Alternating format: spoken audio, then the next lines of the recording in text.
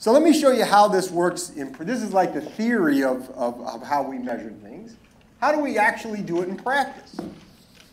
So the way we're going to carry this out in practice is you think about discrete data. I got two time periods. I got x1 naught up to xn naught, p1 naught up to pn naught, m naught, x11 up to xn1, p11 up to pn1, m1. Right? So that's my data. I got period zero or condition zero where we consume this mix of goods at these prices and this income level. Period one, we consume this mix of goods at these prices and this income level. Right? And I want to look at the change over time. And I can write m1 over m naught equals the sum over i of xi1 pi1 over sum over i xi naught pi naught. Right? That's by definition. That is this income is the sum of all the expenditures. This income is the sum of all those expenditures, so the ratio has got to be that.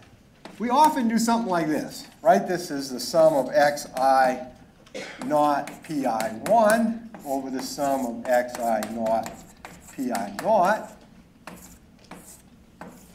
times the sum of xi 1 pi1 over the sum of xi naught pi1. And you'll notice that works because I got the same thing here and here.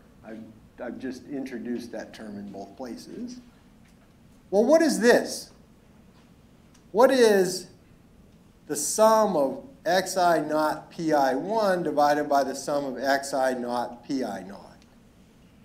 That's asking the question, how much would it cost in period 1 to buy what I bought in period 0 compared to how much it cost in period 0? The classic, what we call the Laspeyres price index, right? It's a price index that takes my period 0 bundle and asks how much would it cost to buy it now? and we say if this number is bigger than that number, we say prices went up. I can't afford for the same dollars to buy what I bought yesterday. And if this went down, I would say I can more than afford to buy what I bought yesterday today. Okay? Any questions that people have? And you'll notice that this is the same concept we had over here because I'm comparing the cost of the same bundle at different prices. Right, if you want to write it in terms of changes, just subtract 1, and then you'll see it's xi naught pi1 minus pi0 divided by that, right? It's like the change, the change from 1. Right? So this is exactly what that formula is telling me to do. It's a first order approximation to the cost function. That's my Laspeyres price index. This you see a little bit less but it's important. This is what we call a quantity index. It's a quantity index because it's taking a fixed set of prices and valuing the two bundles at the same prices. Everybody understand that? You understand what this, why this is a quantity index?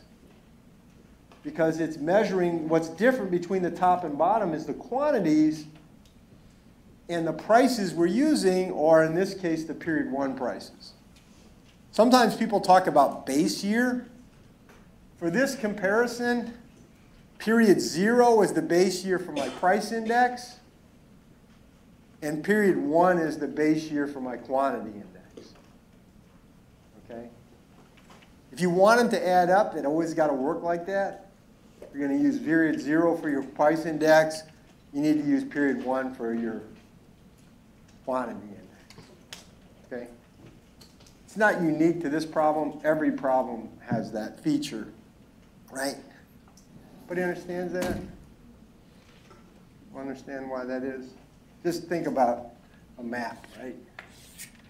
I want to get from here to here, right? To get from here to here, I got two choices. If I can only move one direction at a time, right? I can go this way and then go that way. Or I can go this way and then go that way. Right? That's two choices. So I could have done this, could have done my price index with ones, and then I would have done my quantity index with zeros.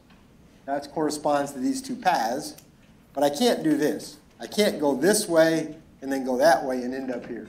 Just doesn't work. Okay? That's why you got to do one at one and one at the other. If you want to get from A to B, you kind of got to move and then move. Anyway, that's just kind of geometry of it. So this is the kind of way that we're going to approach prices and quantities. And why is this a decent way to go? I'm not saying it's a perfect way to go. What makes us motivated to think this makes sense is the fact that this is a first order approximation to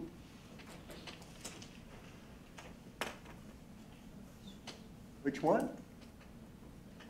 Which would be a first order approximation to what? Cost function, right? Because I got the same price, same quantities, and I'm comparing prices. This is a first order approximation to utility. Okay. So when people start talking about measuring quantities and prices using a price and quantity index approach, you might say, well, geez, why you do that? Isn't that some arbitrary way to like do things? Not really arbitrary. It really makes, it's really got a lot of grounding in consumer theory. It tells us that, you know, first order approximation. Any questions that people, that people have?